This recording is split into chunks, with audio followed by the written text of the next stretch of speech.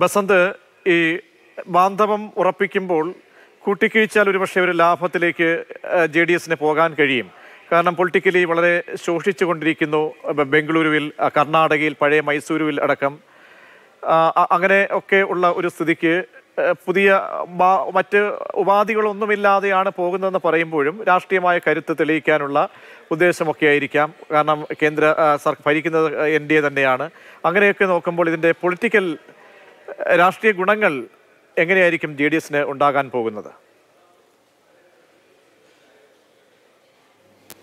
ഇതിൽ J D എസിനേക്കാൾ B J പിക്കാണ് ഇത് രാഷ്ട്രീയമായി നേട്ടമുണ്ടാക്കുക എന്നുള്ളൊരു കണക്കൂട്ടലാണ് ഇതിലുള്ളത്. അതായത് ഈ പറയുന്ന മൈസൂരു മേഖലകളിലൊക്കെ തന്നെ കഴിഞ്ഞ ലോക നിയമസഭാ തെരഞ്ഞെടുപ്പിൽ ബി ജെ പിക്ക് വലിയ തിരിച്ചടിയാണ് നേരിട്ടത്. അപ്പോൾ ജനതാദൾ എസിന്റെ വോട്ടും കൂടി ചേർത്ത് കഴിഞ്ഞാൽ ഒരു മത്സരത്തിന് വകയുണ്ട് എന്നുള്ളതാണ് ഇപ്പോൾ ബി ജെ പിയുടെ കണക്കൂട്ടൽ. മാത്രമല്ല കഴിഞ്ഞ തവണ കഴിഞ്ഞ ലോക്സഭാ തെരഞ്ഞെടുപ്പിനെ പോലെ തന്നെ വലിയ തോതിലുള്ളൊരു മേൽക്കൈ ഇത്തവണത്തെ ലോക്സഭാ തെരഞ്ഞെടുപ്പിൽ കർണാടകയിൽ നിന്ന് ബി ജെ പി പ്രതീക്ഷിക്കുന്നുമില്ല. കാരണം ആ, കഴിഞ്ഞ തെരഞ്ഞെടുപ്പിൽ കോൺഗ്രസ് വലിയ ഒരു പ്രകടനമാണ് കാഴ്ചവെച്ചത്. വലിയ രാഷ്ട്രീയ വിജയം നേടിക്കഴിഞ്ഞു.